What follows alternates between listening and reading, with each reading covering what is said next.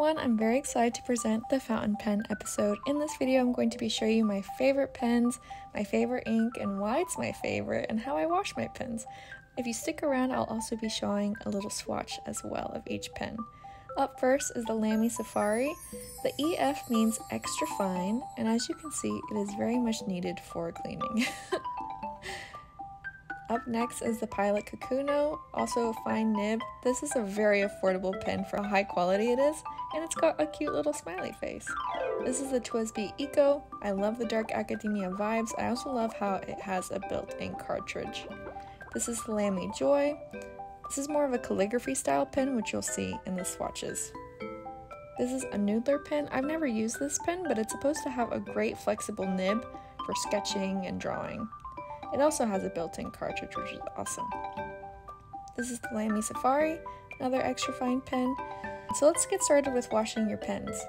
You're going to need some ice water, and the reason why you want really cold water is because the cold helps break down that really old crusty ink. As you can see here, it's already starting to kind of bleed into the water. And I like to take apart all of my pen parts and I like to submerge them all into the water because you never know you might have some ink wedged way up into the caps or even on the outside of the body itself. And you want to let them sit in the ice water for about 10 to 15 minutes. And if you have um, a, a, pen with a built-in ink system like the TWSBI or the Noodler, you want to make sure you're filling the ink system with cold water. That way you're getting a really thorough cleaning. Some pens might require a little bit more ice water than others, um, so while you're waiting for those, you can get a head start on cleaning the outside of the pen or the caps with just some regular cloth like paper towels. And as you can see here, you want to make sure you're agitating the water through each change cycle because when you agitate it, that'll really help loosen up the ink.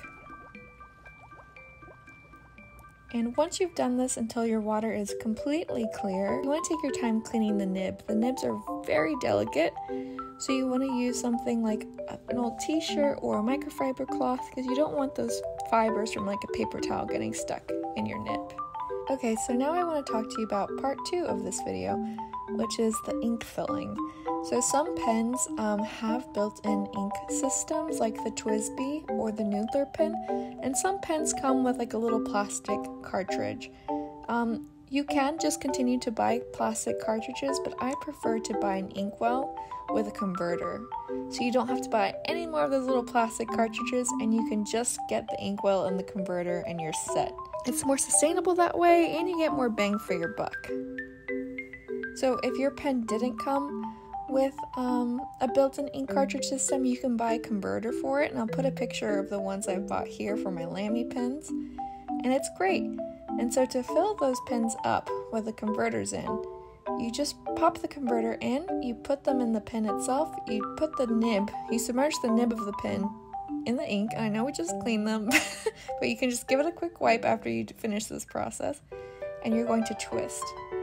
Whatever your system is, it's almost always a twist system. So whether you're twisting uh, a, a TWSBI style pen or you're twisting a converter, that's the way you fill up your pens. I think you can convert any fountain pen to have this mechanism, but make sure to research the type of fountain pen you have. See, like so, it's completely filled up. This is the TWSBI. Oh, and I forgot to mention why I love this ink so much. It's waterproof. The typical standard fountain pen ink is actually not waterproof at all. In fact, it's very runny. And the reason why this is is because it makes the pen performance a lot better. But I found this company that makes fountain pen ink that's waterproof. And it works great. I'm going to show you a test. But I love using waterproof ink for a few reasons. One, you can use watercolor if you want and it won't run. And the other is if you make take a lot of notes like me, and you put like a cup of water, it's just risky. it's happened to me many times, so I will forever now only be using waterproof ink. It's just safer, and as you can see here in the swatch, they perform very well.